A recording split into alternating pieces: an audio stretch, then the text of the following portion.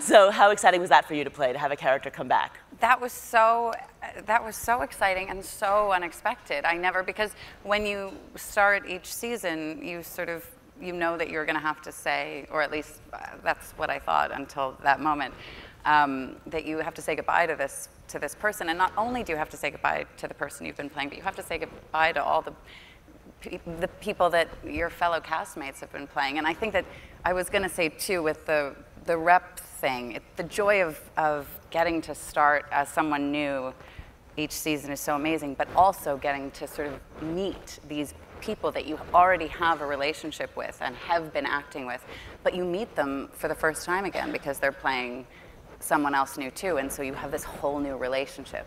Um, but yeah, I, I, definitely thought I had worn that habit for the last time, and I was wrong. and that was great. I was, I was so thrilled to, uh, to be able to come back. And Sarah wasn't there that day, and she was like, "Text me the minute you have it on. I can't believe it." Picture of the bed with the thing and the, you know, I'm Sister Mary Eunice. Like I wanted the whole thing. Yeah, yeah it was very exciting, and also um, so so brilliant. Uh, the not me in the, but the bringing it, tying it together in that way was, I, I thought so um, incredible and typical of Ryan to come up with something like that.